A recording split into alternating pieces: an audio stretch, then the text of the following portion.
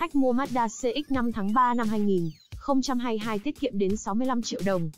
Tháng 3 năm 2022, khách hàng tại Hà Nội chỉ cần từ 896 triệu đồng để lăn bánh Mazda CX-5 nhờ được ưu đãi đến 65 triệu đồng tiền mặt.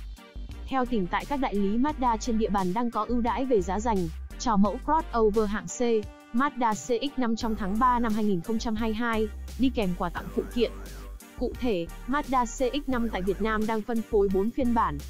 Trong đó có 3 phiên bản 2.0 Deluxe, 2.0 Luxury và 2.0 Premium đều được giảm 15 triệu đồng. Giá bán còn lần lượt là 824 triệu đồng, 864 triệu đồng và 904 triệu đồng.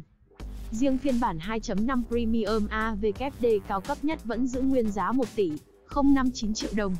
Ngoài được ưu đãi về giá, khách hàng mua Mazda CX-5 còn được tặng dán phim cách nhiệt, thảm sàn, bộ dụng cụ cứu hộ, lipo đôi thể thao và thẻ GPS Navigation, trừ phiên bản Deluxe.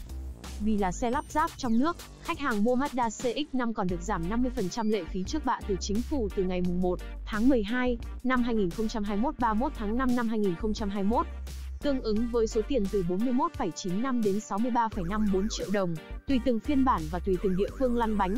Như vậy, cộng gộp ưu đãi, khách hàng mua Mazda CX-5 tháng 3 năm 2022 sẽ tiết kiệm từ 63,54 đến 65,34 triệu đồng, tùy từng phiên bản. Sau đây là giá lăn bánh Mazda CX-5 tháng 3 năm 2022 sau khi hưởng ưu đãi kép, dựa trên các loại thuế, phí mà chủ xe phải trả để ra được biển số.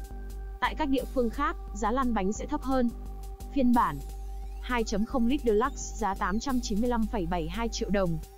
2.0 lít Luxury giá 939,12 triệu đồng. 2.0 lít Premium giá 981,52 triệu đồng. 2.5 lít AVKD Signature Premium giá 1 tỷ 144,92 triệu đồng. Video đến đây là hết. Nhớ bấm like và đăng ký kênh để cập nhật tin tức và video mới nhất tại thế giới xe 360.